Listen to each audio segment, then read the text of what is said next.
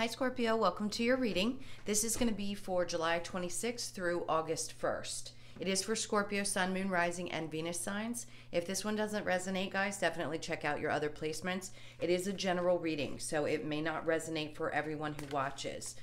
Okay, so we're going to get into your near future, or I'm sorry, your current energy, then the near future, and take a peek into the next three to six months. Once we clarify that, we will clear that spread, get into your person's energy, your energy, the possible outcome, the romance angels, and oracle cards. All right, so I do do personal readings. If you'd like one of those, the information is in the description box below. And I want to say a big, huge thank you for all of your likes, shares, comments, and subscribes. I love all of you very much for all of your support. Um, if you are new here, I hope you'll stay. All right, so let's get into your energy. I'm to cut this one more time. This is for Scorpio. All right. Ooh, right off the bat. Big change. Okay. Your card right there with the Tower, the Ten of Swords, and the Seven of Pentacles. Okay, and then we have in the near future the Knight of Wands in reverse, the Strength card in the middle, and the what is going on? And the Nine of Swords. You guys, this is a tough, tough, tough read. Um, Ace of Swords in reverse in the next three to six months with the Lovers in reverse and the Five of Wands. The Queen of Pentacles is the overall energy. To me, because of what I'm seeing laid out in the spread, this could be very much about finding your balance again. So something may have thrown you. Uh, I'm picking up on quite a bit of current, like, uh, Uh, not necessarily upheaval, but change. A lot of big change. And it doesn't mean that it's going to be bad, but with the Ten of Swords, I feel like there's been some betrayals. This is you standing strong in your stability. In other words, you're not going to let any of this stuff rock you. No matter what, you're going to still look pretty no matter how this turns out. So let's just get into your energy and see what's going on. So with the tower, you could be dealing with a Scorpio. I have Capricorn, Virgo, and Taurus as well. This is letting things fall apart that don't feel good to you anymore. If something isn't working out and you found out about a betrayal, um, just feeling abandoned is what it I sense. After putting so much effort and waiting for things to move forward, if it doesn't feel right anymore, the universe is coming in to wipe it away. So you could be going through that over this next full moon. You're the first sign that this has come up for, where there may be a lot of clearing out. This could just be up to the roof, like with BS and dealing with people who have done these types of things. I do feel it's you kind of crashing things down and letting them fall, and where the pieces go, they go. That's what I feel like. You've waited, you've been patient. If things aren't going to move forward, if this isn't a relationship, um, then I think you're okay to let things fall apart. That, that doesn't sound right, does it? But it sometimes people are. They're just done. It's like I've had enough of the hurt and the pain. I just can't keep going with this. I've had so much patience. I've waited for things to go in the right direction. If it has to fall apart, it has to fall apart. So for some of you that's actually happening. Now, this could also be a work situation. I feel very much so that you've been patient, sitting back. We've talked about this a few times in your readings. Like, I've watched this grow and grow and grow. Is it going to come to that place where it finally feels right? I sense that there's some betrayal that you feel around your work situation. Something could have just recently exploded. And I'm going to say exploded because in this case, I feel that something had to come in and really shake and move you in order for you to move forward. And it doesn't mean leaving everything that you've worked on behind, not necessarily. It could just be that there needs to be a big shift that you make. So let's see what we get for clarifiers. Um, and that'll tell us a little bit more. Now, in the near future, the Knight of Wands, the Strength card, and the Nine of Swords. So you may be feeling like you're held back like you're trying to fight through the pain and the frustration. And yes, it could be very exhausting, eh, you know, the losing of sleep, but you're maintaining your strength, which I love. You could be dealing with a Leo energy, um, as well as Aries and Sag are both coming up. Libra, Gemini, or Aquarius. So, is it causing a little bit of restlessness? I do think so. I think you're being asked to hold back for a moment and don't push forward too too quickly. The Knight of Wands in reverse is someone who's not feeling really stable about what it is that he wants. It, are your passions still in line with what you want moving forward? Do you still feel like you want to work on this relationship if that's what it is for you? I think you just need to focus on regaining your strength.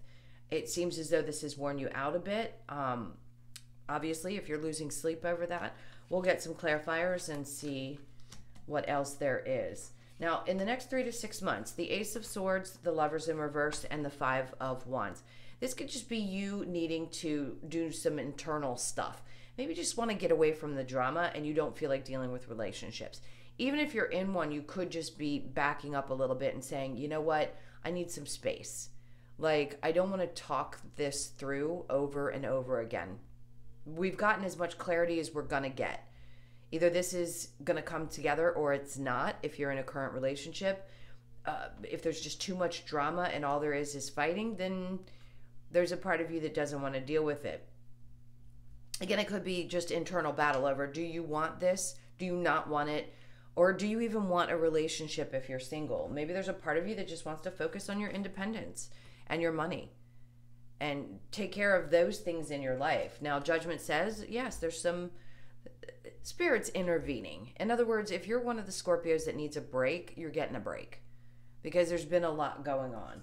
And then there'll be a new beginning coming, which is going to be a lot more stable. When you've refreshed your energy and you've gotten through some of this, what, you know, painful stuff, things are going to move forward. And then the drama is going to, you know, subside and you're not going to be dealing with a lot of chaos and conflict. Um, it may take a little bit of time, but you're going to be okay. Again, I'm seeing the Leo card, so you could be dealing with a Leo. All right. Now let's clarify this Tower card with the Ten of Swords. Let's see if we can get something a little more specific, but I think what we feel is pretty clear. All right, so yeah, lovers in reverse on the bottom. There's the Emperor card. So you could have been dealing with somebody who, in the Hierophant, wow. And then the lovers in reverse. So you may have tried to maintain not control in a negative way, but like control of yourself within the situation. I think a part of you um, realized that there was some kind of intervention. In other words, whether it be the universe, God, spirit, whatever, was intervening and saying, you know, you've got to hold yourself together and be strong. So you can't let anything or anyone rock that right now. As hard as this situation may have been for you, I think you understand that you're protected. Um, with the lovers in reverse, again, this is taking back your power is what I feel like in in relationships in general. It doesn't have to necessarily be a love, but with the lovers I'd say yeah. If it were the two of cups I'd say it could be more about partnership. In this case, I do feel it's sort of trusting that what's meant to be will be. And you're just going to take control of your own life and not focus on that. Now there, you know, the 5 of pentacles says somebody was left out in the cold. Now you may have felt like you needed to walk away from this situation in the past or just recently. This could have just happened within the last like couple of weeks in order to regain your sanity is what I heard. And the justice came out and says because you're balancing things out in your life. Look how beautiful she is. So male or female, doesn't matter. You're finding that balance within, taking back control of your life, trusting that spirit's got your back and walking away from any kind of relationship that just doesn't feel good anymore. If somebody's betrayed you and you've just recently found out, you're going to find your balance again. Look at that. And the King of Pentacles, again, stable, strong, powerful, like a boss. You're a boss. You probably make good money. You're confident about that area of your life. You don't need to worry about that. And then the Ace of Wands comes in to say, whenever you're ready, this passionate new beginning will be there for you. You may not want to rush things. The Queen of Wands in reverse just tells me you're not feeling like yourself right now. You could just feel a little, they're showing me like, this is kind of gross. So sorry, guys. When I get the visions, I get the visions. I can't help it. It's like a wolf, you know, swinging something back and forth. Like, you know how they, when they get their, their food, it's like you feel a little torn, if you will. Like somebody's just shook you like a rag doll. And the Four of Wands being in your head a lot. But you're going to come to a place where you get out of that because you're releasing a lot of these toxic energies. So if I need to go through the deck and keep going, Spirit's going to guide me to. And then you have this brand new beginning around a work situation. So either things revitalize and start fresh, or you go find a new opportunity, which I love. And it's not going to be a difficult decision for you. All right, you could be strongly dealing with a Capricorn, Virgo, or Taurus.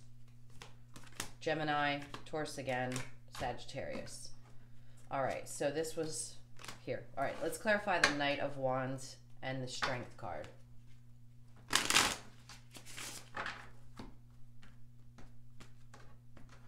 So we have, good, the Ten of Wands in reverse, which means you're laying down that burden, like we discussed. The Eight of Cups, already having walked away from any of these situations that have betrayed you, even ones that you've maybe have stuck with for quite some time.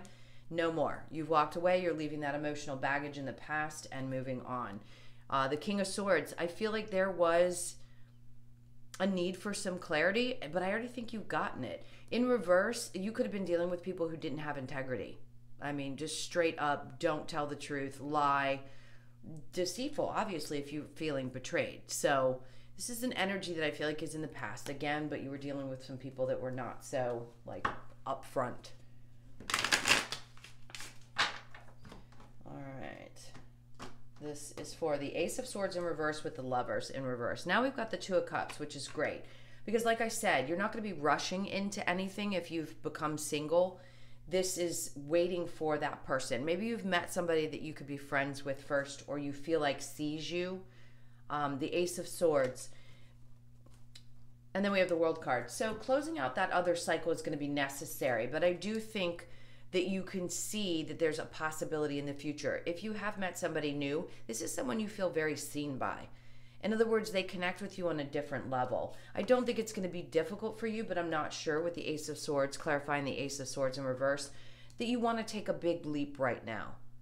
This says I, I really do feel like you're pulling back. Even if you're currently in a relationship, there's a part of you that kind of wants to hold back and get some clarity around how you're feeling because there's probably been quite a bit of arguing and fighting or drama. All right. So we're going to clear this and get into your person's energy, your energy, the romance angels, the possible outcome, and all that good stuff. All right, this is for Scorpio. Is for Scorpio and their person's energy, please. This is for Scorpio. All right, so your person, we've got the Queen of Cups the Ace of Swords in reverse, the Six of Swords, and the Six of Pentacles. For you, the Eight of Pentacles, the Sun in reverse, the Death card, there you are, and the Hermit card. Queen of Swords. So, speak your truth. Very much so. This needs some clarity. Somebody needs to pipe up and explain exactly how they're feeling. I feel like it's you. Maybe there's a part of you that doesn't really want to or doesn't feel like you need to at this point. Now, your person is definitely has a tremendous amount of love, but I don't think you question that. You could be dealing with a Cancer, Pisces, or Scorpio. In this case, it's like there's, like I said, there's truth. I don't know if it was you or Gemini. Oh no, it was Gemini. Somebody's just having difficulty, like giving you clarity. I feel like they may pull back sometimes. Um, they could be just moving on and deciding, okay, you know, I love this person, but it's not getting off the ground. So if you feel like this person's moving away from you, it could be because um, they could just be moving away from uh, situations that didn't have clarity, not necessarily you. Eh, it's a mixed energy I feel here. And then the Six of Pentacles because they want something balanced as well.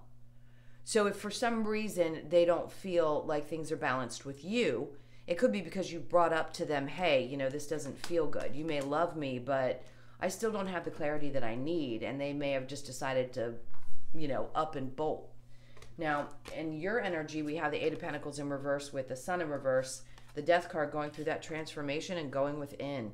This is about not putting your energy into other people. Totally 1000% focusing on you. You can't get any more clear than that with the Death card and the Hermit card. So there's some serious how do I want to put this? Going within. I mean, that is really as simple as it gets. There needs to be a little bit more gained. In other words, figuring things out, digging deeper is gonna mean gonna need to happen in order for you to get through this transformation because it's a big one. Things are definitely shifting. I feel like you've made some really final decisions uh, as far as leaving these betrayals and problems and people and whatever has been creating this for you, leaving it behind. So, do I see that the two of you could possibly work things out? Let's get into the romance angels. I feel like there's a sense of, you know, I just kind of want to live in my own space right now. All right. Let's see what the romance angels say. Calling in your soulmate, your prayers, affirmations, and visualizations help you bring help bring you together. Passion, allow your heart and soul to sing with joy. And then we have wedding. This situation involves marriage, forgiving and learning. As you release and heal the past, you experience more love in your present moments. And then we have children. So could there be children between you? Obviously, yes. That's for a few of you. Calling in your soulmate. Um, if you feel like this is your soulmate, then there's a lot that needs to be worked on for this to move forward because I feel like this is pretty much come to an end is what it feels like to me. Now I feel like that person moved away. So you could be wanting to now call in a new soulmate and experience something new. Allow your heart to and soul to sing with joy. Maybe there's a part of you that finally feels like you can find that passion within again to move forward if this has come to an end. Now, if this was a marriage and it has ended, then you're walking away from all of that deceit, that betrayal, all those things that have happened. If this happened a while ago, the energy may just be popping back up because you've been reminded of it, or something may have happened that felt similar and it's in your energy field. So, forgiving and learning as you release and heal the past, experience you experience more love in the present moment. Listen, we could go for hours talking about forgiving and learning, but we're all at a different place in our lives, in a different timeline about how to heal, how hard it is, what it feels like, when it actually happens, all of that good stuff. But we know that forgiving and learning is the greatest way to just move forward in peace. All right, now a possible outcome for this, I think we're pretty clear. Um, I do sense that your person wants balance, but right now they're not feeling that. So we have the King of Swords in reverse, Knight of Swords. Yeah, there's not a lot of communication between the two of you. Yeah. So right now, I don't feel like this is moving forward because nobody's speaking or you've cut off communication. There's a lack of stability within. And then we have the Ace of Cups in reverse. So I hate to say it, but I, I just don't think that this is going to move forward. All right. So now we're going to do the Lover's Oracle. I don't know if we need to, but in this case, there may be some good advice. Let's see. All right. We have if you could do anything, what would it be? The answer dwells in your heart, not in your mind, for the heart is the gateway to the soul. I think that's a beautiful message for you. Embrace. Through each other, you find the missing pieces. Now, you may have felt that way with this person, but right now it's more important for you. I want to bring this out again. If you could do anything, the answer dwells within your heart, not in your mind, for your heart is the gateway to your soul. I really like that message for you guys. Okay, last but not least, we're going to get the Wisdom of the Oracle. Messages from Spirit. This is for Scorpio. Okay, this one wanted to pop out. So we have orphaned. You may feel, or that person may have abandonment issues. A change in the wind, to the sea, all that glitters, and then loyal heart. I think that just talks about you. I think you guys are such loyal hearts. You love, you love deeply. Uh, when you're done, you're done. But you do you are for sure loyal to this to a person, your partner, whoever you're with at the time. So this is um, I can't talk, guys. Sorry, I am just stumbling today. 35 reduces to an 8, which is infinity. This is about, you know, the loyal heart, staying loyal forever. I think you'll find that again if you're not in this currently, like if you're not in a relationship that you're happy in, obviously, you will find that person again. Scorpios always do. You guys are relationship style people, at least most of you are. So, orphaned, somebody could have felt very much left out in the cold or reminded of that if there was a sense of abandonment in childhood, which is a deep wound that needs to be healed. With a change in the wind, there could be a shift for you guys as far as your home. So, I feel like there's a lot of movement in your life right now, but there's a need for balance too. So, get that mind, body, and spirit that reduces to a three. Get it balanced because some changes are happening for sure. To the sea, a part of you might want to run away, is what I feel like with this card. If you've been dealing with all of this just recently, all that glitters. Sometimes all that glitters is not gold, right? So I think that's a part of the realization that you're having. There's a lot of sevens here. We have seven, seven, um, the five and the two, and these two cards, seven. A lot of seven energy around you, which is a very spiritual number.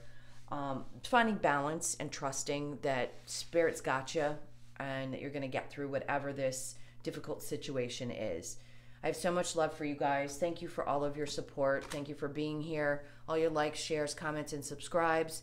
Um, if you'd like a personal, that's in the description box. I hope you guys have a great week. Uh, muster up some energy to get through this. This is a tough one, but you've got it. All right, guys. Take care. Have a wonderful week, and I'll see you soon.